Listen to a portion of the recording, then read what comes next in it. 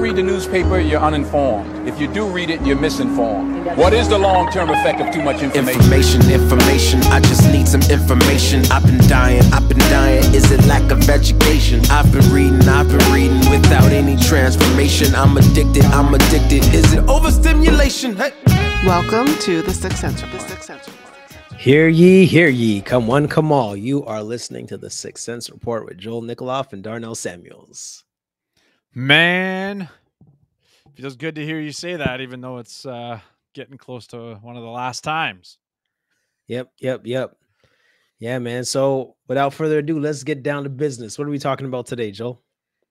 Uh, we're we're talking about the culmination of uh of uh, the LGD, LGBTQ agenda sort of conflicting with different people groups or different ethnic cultures and and highlighting one particular scenario that's in Canada but as I'll reference a little bit later this isn't unique this is not unique to Canada um, America is having similar um, confrontations so uh, more recently if you haven't heard there's been some protests from the Muslim community uh, regarding uh, the LGBTQ agenda.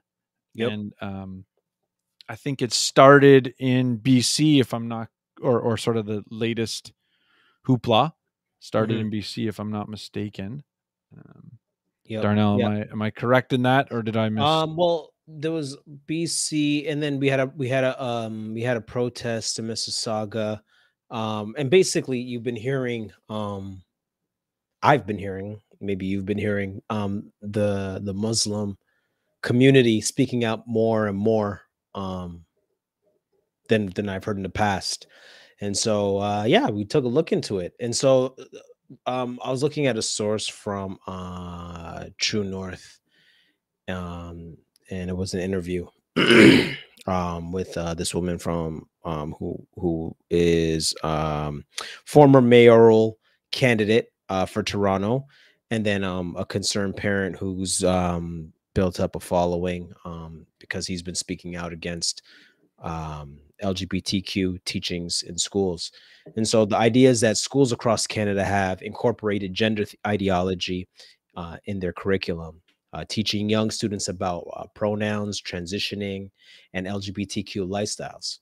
So um, many believe this is an, an an inappropriate it's inappropriate for children and that gender ideology has no place in schools including many parents of the muslim faith so in the last few months muslim parents have organized and participated in protests against gender ideology being taught in schools in addition many muslim students have refused to participate in pride events being held in their schools and I think the straw that broke the camel's back was a recording um, of a teacher blasting.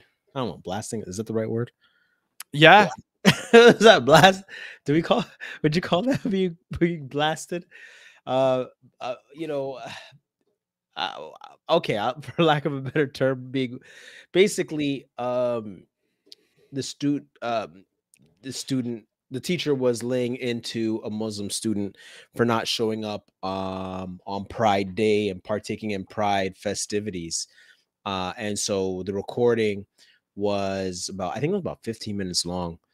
And um, it was recorded. yeah. by- I have a I have a True North article with uh with the yeah, yeah. So that you, yeah. So the audio, the audio. I think it's fair to say the audio went viral. One of the students in the class uh, recorded the teacher sounding off on this student, uh, and that's one reason why um, I don't allow phones in my classroom. you might end up on six buzz. Yeah. yeah, keep keep it at keep it on the six cents or in the classroom. yeah, yeah, yeah. But um, but Joel, what do you um, Okay. the- like when you first heard um that teacher's rant laying into that kid? What what were you thinking? So um I mi- I mi- did misspeak. I don't know why I was thinking this incident happened in BC, but it actually it was in Windsor, which is the, where the Yes. article Yep. references. And what what the incident was preceded by something that that I think we want to add a little bit of context to the story. And that is um according so there's a reference in the the True North article for a, another article that says Uh, I think the particular recording happened at a school where 600 out of the school's 800 students stayed home for school for Pride Day. So Sorry, 75%. Why so many? No, um, because it was a protest. Basically, it was like a large, and if I understood correctly, again, this isn't in the article here, um, but when I was, I recall reading this or reading about it six, you know, when it happened, June first was essentially the day in question. Um, that this particular school had a high Muslim community, if I'm not mistaken, and um, basically it was a the term I think is called National Pride Flag Walkout Day Mhm. what what they had been participating in and so the um lo- basically it says for instance we've heard from local parents that windsor ontario's northwood public school saw 600 of its 800 students stay home on june 1st that's a staggering 75% walkout. So there there was a essentially a tirade by i believe uh, if i'm not mistaken L, an lgbtq teacher basically saying that they found that the the recording on an oversimplification is that they found this offensive that that students part did this.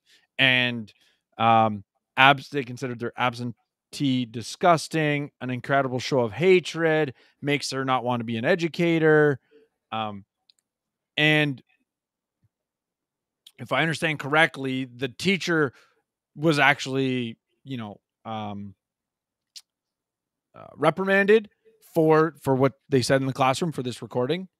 Um, and to your point, if it wasn't recorded and it was just hearsay, would this have even blown up? Would this teacher have gotten in trouble? But si- slight sidebar, but aligns with your point that like one of the reasons I don't allow phones in the classroom. So um the there again, this article from True North's pretty good. It lays out a lot of this stuff. Um, so again, I'll make sure it's in the show notes page. But it talks about the school itself, apology letter from the school. It's got a picture of it. So coming back around, Darnell, your question, um, you know that that I've uh, that you asked me was, um, sorry, can you repeat it? Um, no, just just your um, no, just your uh, your take on when you first heard the audio. Um, yeah, I, I was, to be honest, again, in the context, I wasn't surprised. I, I can see why the teacher did it. I can see why the te again, if I've, if I've read the situation right, if I understand correctly, um, I think the entire environment, culture that we live in promulgates the perspective that this teacher had. And they felt right and justified in getting upset with the students because in the victim mentality culture that's being pushed, this teacher's a victim, this teacher's a minority, and these actions are symbolizing hatred towards a minority or the oppressor oppressing the oppressed. So I wasn't surprised by the recording um because I think it fits the the culture that we live in. And unfortunately, that's um you know, not I don't think this teacher's unique in in in feeling that way when there's a protest going, let's call it against their ideology, not against any particular person. Um, and that sort of goes down the maybe to the next points that we're going to get to. But um, what about you? What was your initial thought? What was your even just the the the Muslim community protesting? Uh, yeah, no, when when I first heard it, um, made me cringe a bit. Um, for for for the kid, I felt for the kid, and and I felt for the teacher as well because um, you know, you know, sometimes you know, you know, teachers got to get on get on their soapbox and and preach a sermon. You, You wouldn't know- know anything about that, would you? you know, and you, and you gotta sometimes you gotta lay it to the kids, right? Uh, so I feel bad for the teacher, uh, because you know the teacher was just um, you know, being transparent, you know, being passionate about um something she considered um a righteous cause. So I felt bad for her because that was I guess that was that, that was supposed to be between them and the students, I guess, and maybe the parents, but now the whole world knows. Um, but it made me it made me mad um that that the teacher would lay into the kid like that um and that the teacher didn't it was it was a big contradiction, right? Because you're just like, yeah, but you're not accepting the Muslim kids' views, and that's so um ignorant in the ignorant in the sense that she is uninformed on what Muslims actually believe. Right? It's almost like it's almost like she was saying like Muslims don't believe anything. They're Mhm. just here doing Ramadan, um, making their pilgrimage, doing their prayers for nothing. Like it mean like it's it's just nothing. It's just like, hey, we're gonna incorporate this, we can incorporate this. Um, yeah, that that she um as I've said before in past episodes, you know, her her privilege is actually a disadvantage. Hmm. Um, that she doesn't even know what Muslims believe that she would say such a thing. Um, yeah, I mean, I, I, I wonder, um, how much ignorance, like it's a, it's a pretty, let's call it reasonable hypothesis, but I also would wonder how much it's this idea of like your views are outdated. Uh, no, so- no, no, no, no, no, no, no, no. No, but the reason I say no, it that no, no, way, no, no, no, it's not outdated because I'm not saying they're outdated. existed before she existed. I don't disagree. But what I'm saying is that it's the same view that they have towards Christianity. Oh, that's an outdated. That your your view needs to be modernized. Your view Okay, needs to be okay, updated. you're saying. Yeah. So so my point is is it ignorance? Uh, I I didn't know. I proper use of the word ignorance, lack of knowledge of what the Muslim belief Yeah. system entails, or is it a matter of pr- uh, pride? Good word. That I know better than you, and I'm going to tell you how ignorant your belief system is. Yeah. And so so so yeah, that too. And I guess for me, like I I put myself in in I put myself in a, in a Muslim shoes in a, in a Muslim parent shoes. And I thought to myself, I don't even know why the Muslims are putting up with this mess. Like uh, like I like you guys are begging for a seat at the table. Like the Muslim community is big and y'all got some money. So go and start your own school. You don't have to take this. Uh, that's what I thought. I thought, look, man, something something's gonna happen, and then a couple weeks later, there's protests and so forth. But personally, in my opinion, I think this was the straw that broke the camel's back, where the Muslim community has to um fix up. They gotta fix up and be like, look, man, we're not gonna stand for this crap no more. Um, but I, I I- I'll unpack more of that when when when, when we get to my two cents. Yeah, Um, and- but and I- but I Go was ahead. say, I think you have a really like your point. I think about like why why are they putting up with this, and I think I think it has to do with the escalation, right? Like for years, like I mean, when we were in school, pride didn't even come up.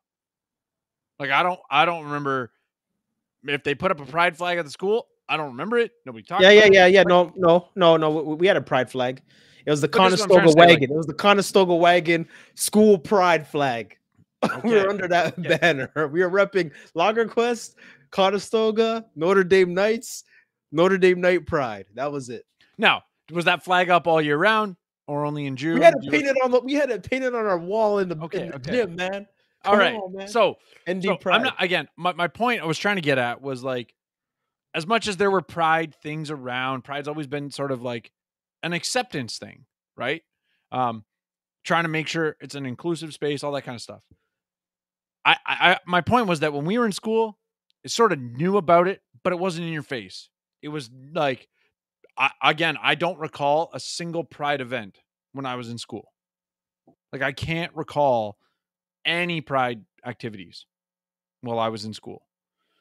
Now we're talking 20 years ago.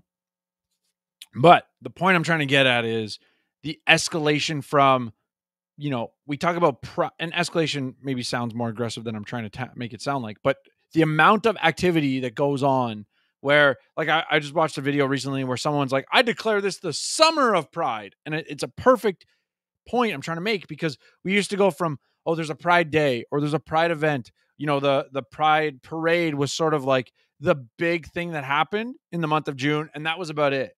Like I obviously I remember that when we were in high school. Pride parade always talked about, you know, I think it was usually the Canada Day long weekend, um, or July long weekend, first weekend in July slash last weekend of June, and but I just the amount of activity I think is growing so much that parents that were like, ah, don't worry, communities like the Muslim community that were like sort of tolerating it, it's now become overbearing where it's not just where I can talk to my kids, explain it.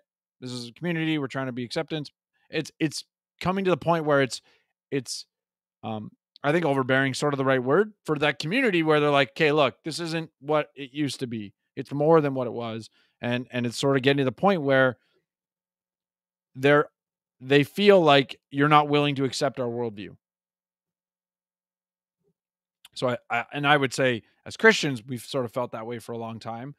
But I think Muslims their religious views were ignored for the immigrant status or the minority status and and so they were sort of the oppressed so they fit into the oppress you know they they sort of fit into the cancel or not cancel the victim culture that we've gone through. And so for a lot of times any let's call it discrepancies with the mainstream agenda or view were sort of passed on right? It was ignored. And and now they're making a big enough stink that, that it's not being ignored. So what do you think or what how would you describe what the Quran teaches in regards to LGBTQ practices?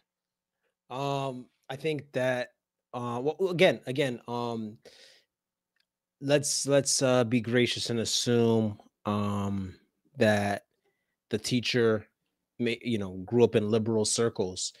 Um and so when I what I mean by that is you might have um Muslims that are um Muslims that don't believe the the Quran is um cultural is against it. Yeah, is against it, right? So who, who knows? But but I I think it was one of those things for me. I'm not sure for the listeners, but you know, I'm not I wasn't too clear on passages in the Quran about um about LGBTQ issues. And so um Muslims are people of the book, and so they go by their book. And so um, I was doing some reading and I came across an article in the New York Times. And um, the author is Mustafa Akyol. Um, he's an author um, of Islam Without Extremes, a Muslim case for liberty. And so he was making the argument for um, the Quran doesn't actually, um, or the faith, the Muslim faith doesn't actually teach against LGBTQ issues. And so um, one of the pieces from it, it says, um, and, and, we'll put a link in the show notes um, to the article. But essentially, he says the real Islamic basis for punishing homosexuality is in is the hadiths or sayings attributed to the Prophet Muhammad. So the same is true for punishments on apostasy, that means turning away from the faith, heresy, wrong teachings about the faith, impiety, or insults of Islam. None come from the Quran. All are from certain hadiths, these, these teachings and sayings of, of, of the Prophet. But the hadiths were written down almost two centuries ago right so the prophet lit so and their authenticity has been um, repeatedly questioned as early as the ninth century by the scholar imam nasai and they can be questioned anew today Moreover, there is no record of the prophet actually having anyone punished for homosexuality.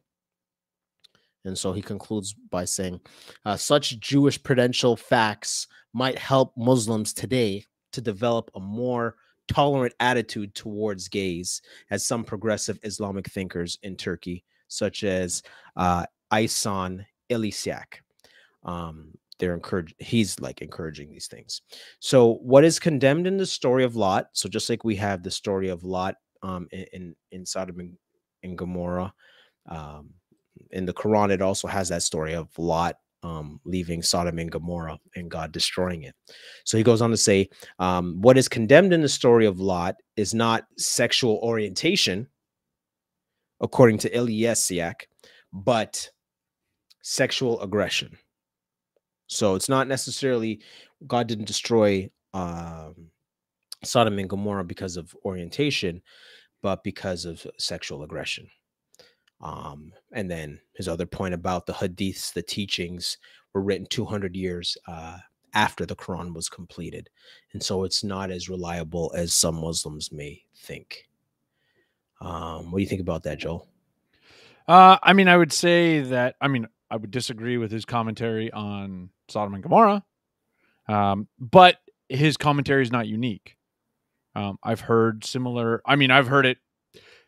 Better argument and better in terms of bad argument is that it's not about sexuality at all. It's about hospitality. Yeah. Like, so I, I'm laughing because I think it's there's like thread for someone to pull on to say that that this story of Sodom and Gomorrah has to do with hospitality as a problem. Yeah, well, uh, yeah, I've, I've, yeah, um, yeah. You know, it's so funny. I, I was reading a book um, on um, on on how Christians um, reinterpret um, the traditional um, homosexual passages. Maybe one day we might get to it um, in an episode.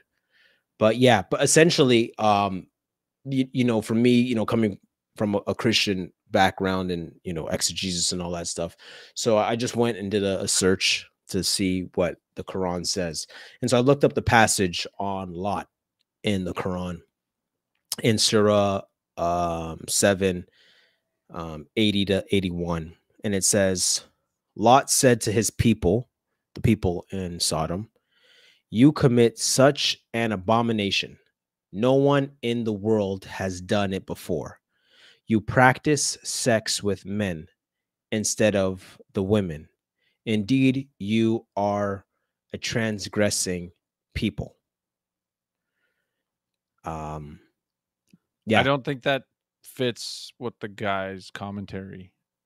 Uh, well, well, well, well he, he he was saying the, the the the issue was sexual aggression. Um, no, but I'm he- just based on the interpretation that you've read, unless there's, you know, translation issues. So let's Mhm. just make a small caveat. But but based on the way it sounds translated, aggression seems to be read into the text.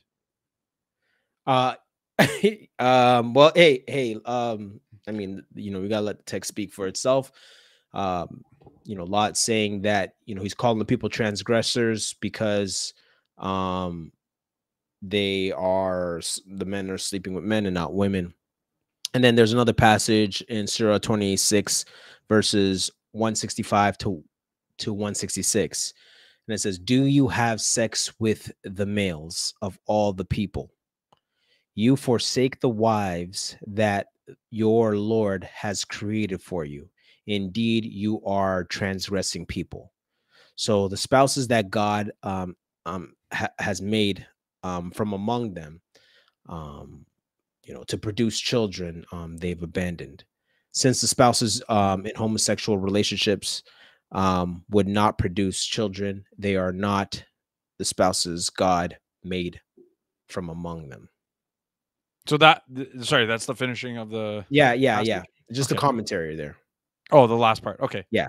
Um yeah, okay. No, that's good. I think similarly it, it's I th- uh, the the only sort of piece that I was like, okay, wait. What else like is there another way you could have said this is if he wasn't referring to you know homosexuality as the problem as opposed to like not sleeping with your wife and having extramarital affairs.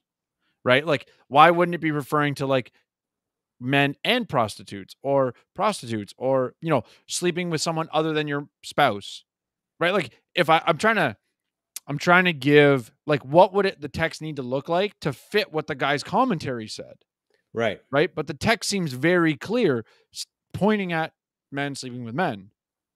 Yeah. and then you know the the criticism that follows.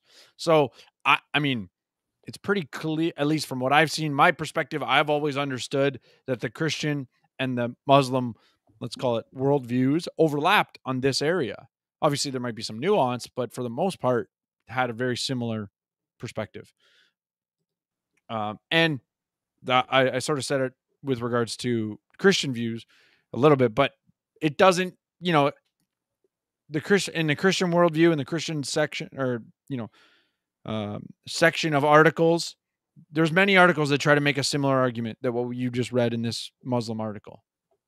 That you know the christian the bible doesn't con- condemn homosexuality the bible only talks about this and so they there's you know attempts to do something similar in the christian space. I would say that it does a poor job of exegeting the text when those arguments are made. And so it sounds a very similar scenario as applying here. Mm. The the text doesn't really align with the commentary that this man has provided. Yeah. Yeah. So, uh, moving on from you know what we the Quran teaches and how we align or don't align uh, from a Christian worldview, uh, the question then becomes, you know, are rights being violated by providing exemptions? Right. So, um, the reason I want I wanted to talk about exemptions because the ability to let's call it stay home and not have co- significant consequences um, right? Like oh you skipped pride month or day you're no longer allowed to graduate right? So the idea being you're if students miss these days there's no significant consequences um, outside of let's call it standard you know practice of of attendance and whatnot. So in in you know the question of does providing exemptions does allowing kids to stay home does anything where exemptions from pride activities occur is that a violation of rights? Because i would i, I believe that that would be the baseline argument that would be made um, against the muslims protesting right? That you're violating our rights that you're anti-lgbtq or, or variations of that. Um, what are you what is your thoughts? Uh, well, you know, it's funny because uh, uh, we've actually covered this. Um, I actually taught on this um, in class um, pretty extensively on human rights and what are rights and making sure that we're clear because sometimes um, the word human rights or rights can be weaponized. And as soon as it's a right, it's almost untouchable. But there's nuance on what what what particular rights are, and we we- we've talked about this many times. Um, on the episode. So if anybody who's just joining us or skipped a couple episodes throughout the throughout our- our Years? yeah, throughout the years, yeah, that that line we've always said we've always tried to create evergreen episodes that you go back and listen to them five years from now they'll still have a relevant commentary. Uh, obviously there's a handful of episodes that are time specific but i think you find our human rights conversations um, they're not stale. They're not outdated right? First one that comes to mind is uh, the six classes of canadian citizen right like Yeah. until they redo the constitution of canada that discussion's still going to apply and and rights came up in that conversation if i don't if i recall correctly um, right, right. And so, um, and actually, so, so for example, the issue of let's just make sure that we're clear. Um, there's there's negative rights and there's positive rights. Um, and as one of my students said, um, they asked, you know, is negative rights a bad thing? No, negative rights are actually a good thing. Um, so the idea Some- is, some would argue only negative rights exist uh, mm, yes, I agree. All right, I would agree with that statement. Uh, so ne- yeah, negative rights, um, basically is the right not to have something done to you, the right to not have something done to me. Example: um, a right to defend yourself, a right to uh, free speech, a right to own property. Um, everyone can have them equally. Um, yeah, and then um, rights you would have if there was no government.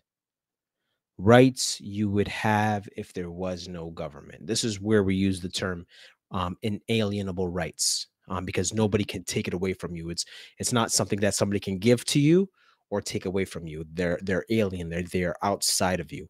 Um, for us, we we we say those rights actually come from God. Um, come from God and us being made in His image. Now, um, for the for the other side of the coin is uh, positive rights, and positive rights are uh, the freedom to do something. So negative was the right to to have to not have something done to you. Positive rights are uh, the freedom to do something. So example, um, taxes, um, right to housing, healthcare, um, and I would argue, maybe Joel, maybe I could be wrong, um, a right to have your your particular ideology taught um, in schools. Mhm. Um, not everyone um, can have them equally because of um, it's just not everybody can have them equally. So not everybody can have their ideology taught in school. Um, but that's the way the nature of education. There is no such thing as a neutral education. So only one particular pedagogy ideology is going to get pushed um, in the school. And so um, another aspect about positive rights is that it requires uh, someone else's labor or time to come to pass. So somebody has to give up their right in order for you to get this right. Um, and this positive right finally is facilitated by the government. So back to the question, um, you know, um, are is it are Muslims um, violating our or are exemptions from participating in pride festivities a violation of LGBTQ rights? Um, I So- would say in the negative sense, in No. the negative sense, no. No. Right? And yeah, I and I I would agree. You know, I would say that um, you know, if, if someone tried to make the negative rights claim, um, the only thing I was going to say, if I wanted to just tighten up what your your definition a little bit, because then someone would ask, well, how does free speech not a right to do something? Because it does give you a right to do something, but really, what it is is the right for someone not to take away your speech Mhm. right? So the and and ju- just because there's no cost for me to start talking, what the Right. cost is is for someone to listen. Right. Um, and so I would say that that that the school not letting Muslims um ha- have their free speech is actually a violation of their human rights um and their negative rights. Um yeah, and as far as positive rights go, um when it comes to positive versus negative, negative um should always trump the positive. Nothing, you know, some, you know, positive, it is what it is. It exists. Sometimes it's helpful, sometimes it's not. But when when when there's friction between the two, um uh, Negative negative should always trump Yeah. um the the positive. What do you think, Joel? Yeah, I mean, unfortunately, when when basically all, if not, I would say probably all positive rights are done through government spending, and consequently are sort of enforced or at the barrel of a gun, because where did they get the money from? They took it from the people through taxation and then spent it. So, in your point about, you know, what ideology is taught in the school system is an access, a, a- a component of positive rights. How does that even occur? Well, because the government's funding it. If the government wasn't funding it, there is no opportunity for a positive right in this regard. Now, obviously, in theory, you could have government regulated, and then it's all provided by um, pub, you know, private means, right? The only way you could be a private school in Canada is if you teach this. So, you know, there is a little bit of, but government enforcing, government having authority in that area is what allows the positive rights to occur. And obviously, if the government wasn't funded, they wouldn't be able to enforce. So, I, I tried to tease out my example just to say, like, I can think of a slightly different way that it's still occurring through government spending, government regulation. So, government is the means of creating these positive rights.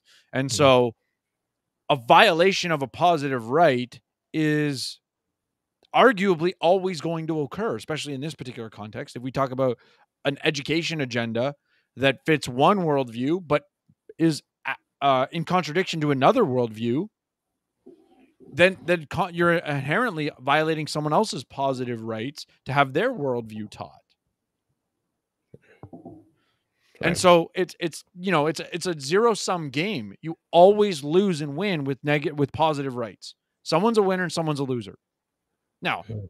you could argue the amount of loss is small enough when you do it through taxation, but still, it doesn't matter. It's a zero sum game. Negative rights, what they do is prevent you from violating another person. Mm. It's not a zero sum game. It's actually preventing a violation. Everybody is made better off by negative rights, other than the guy who was going to be made better off by stealing or violating of another person, right? Slavery is a violation of inalienable rights. Mhm. Hence why it was a problem for the Constitution. But, anyways, moving on. Um, the the negative the positive rights and ne- as you put it and negative rights mm-hmm. are are inhe- are fundamentally different but we we what the biggest problem i see is that people talk about positive rights with the authority of negative rights with the importance of negative rights and really not even having a clue of what the difference are. They just throw the word rights around because it gives authority and and power to the agenda that they're trying to do. But it's really a misunderstanding of what rights even are Right. and how a positive right can or cannot even exist. Right. Right. Okay. So for our two cents, um, the question I would pose to you um, is uh, should Christians align with Muslims in the million person march? So for the listeners, um, it looks like there's um, a protest, a major protest in the works where started by um, by the Muslim community and asking um, especially Christians, um, I guess the religious counterparts, to join them in this protest um, against um, uh, their kids being forced to um, accept um, LGBTQ uh, teachings.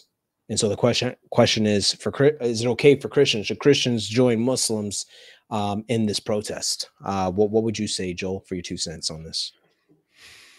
I, I'm I'm taken back to a series um, from James Lindsay and um, Sovereign Nations. I can't remember the guy who runs Sovereign Nations. So James Lindsay had an interview with Michael O'Fallon. Sorry, that's his name.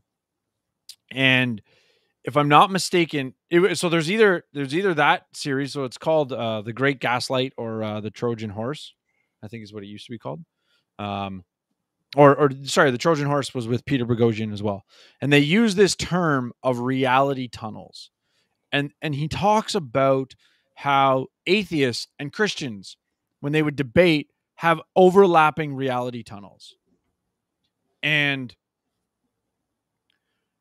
if you were to i would say muslims fit perfectly in that sort of paradigm right? The rea- or we have a similar reality tunnel. We see the world differently but there's a lot of overlap. We have a lot of fundamental truths that we might agree on and there may be some fundamental truths we disagree on but the reason i'm taking back to this conversation is because he was talking about critical race theory for the most part in this conversation um, but he's talking about them having a fundamental different worldview where it's like you're looking in a completely different direction.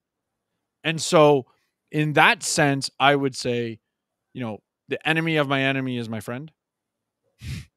and it's, you know, a horrible statement because I'm not trying to say Muslims are my enemy, but but in the idea that like in this particular conflict, we are so in line in in regards to um let's call it the sexualization of our children right? Because that's really the muslims concern. That's really and and i have a i started to tease this at the beginning. There's an article i have from uh Arme- it's the title is armenian hispanic parents clash with antifa over school uh school board or antifa and school board over lgbtq agenda.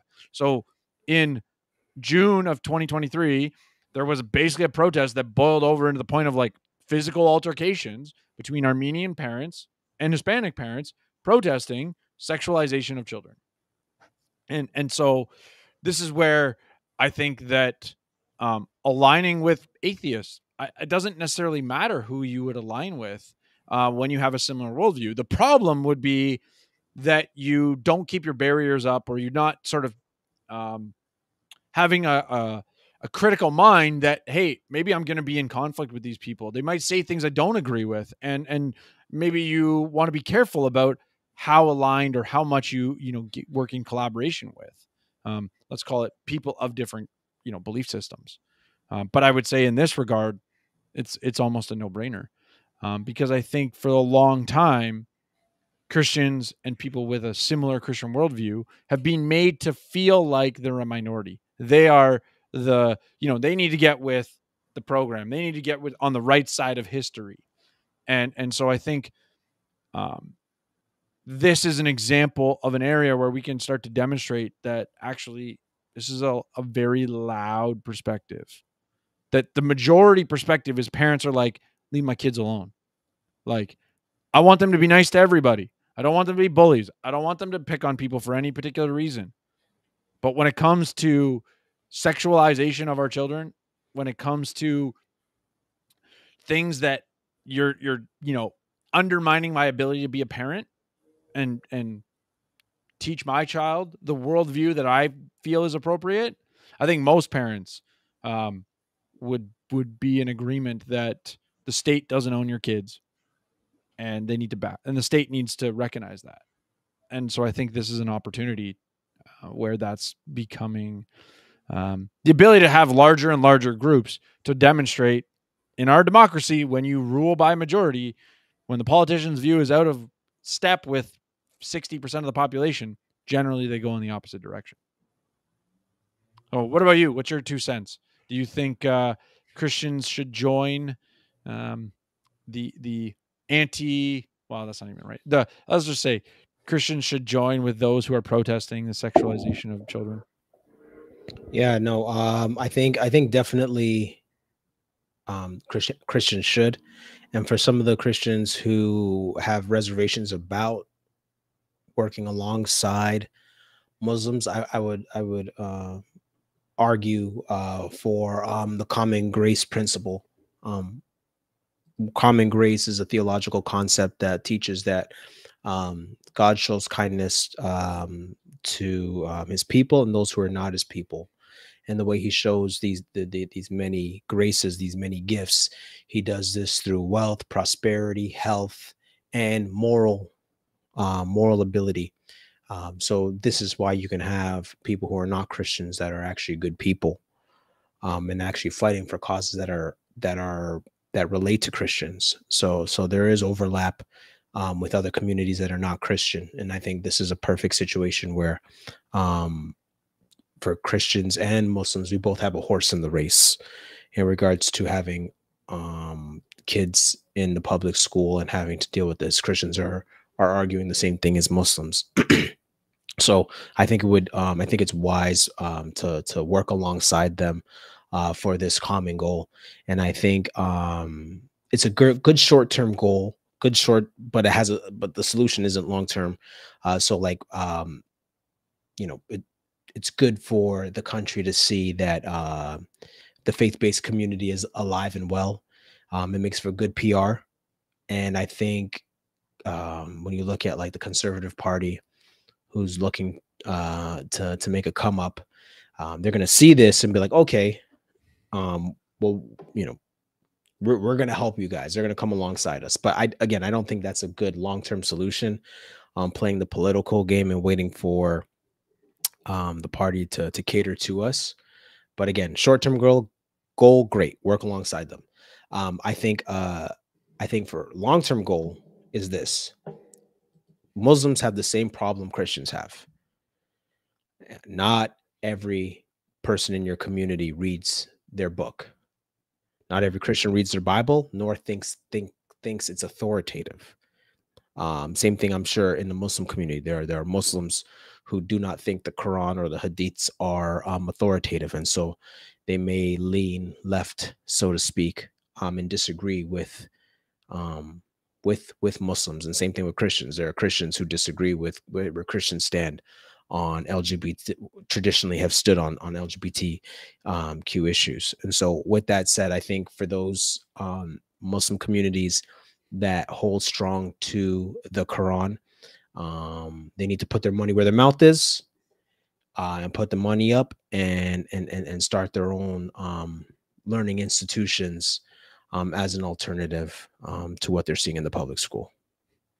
Yeah, and and I'll just touch on this. I know I'm introducing new info in the in the end of our conversation, but um, you know, you touched on the conservative movement, and I thought it was a a good touch to uh, New Brunswick, who had a scenario. They rolled back some of the LGBTQ stuff, only really that had to do with excluding parents.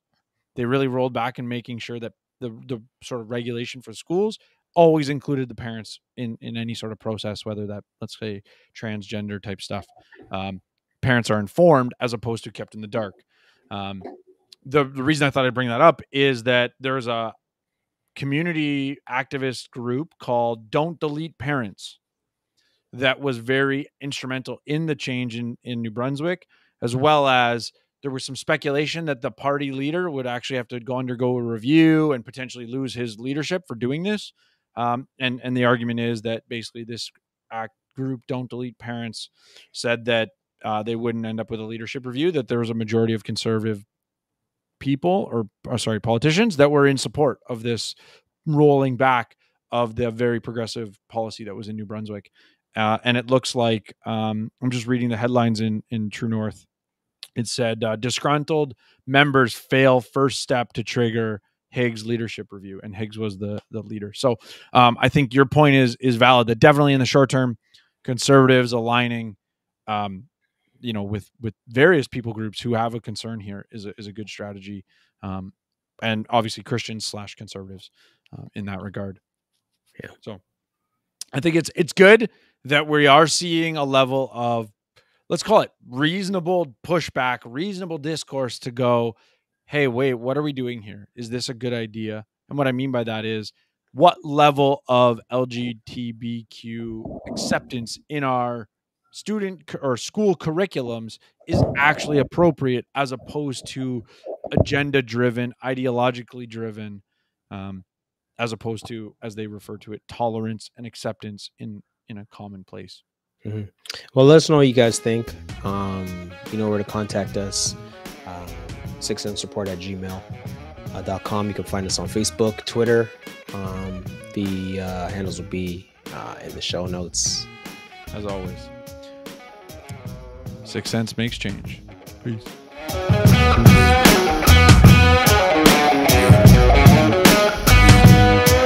But you heard me? Does that make sense? Madden and Mitchell Media.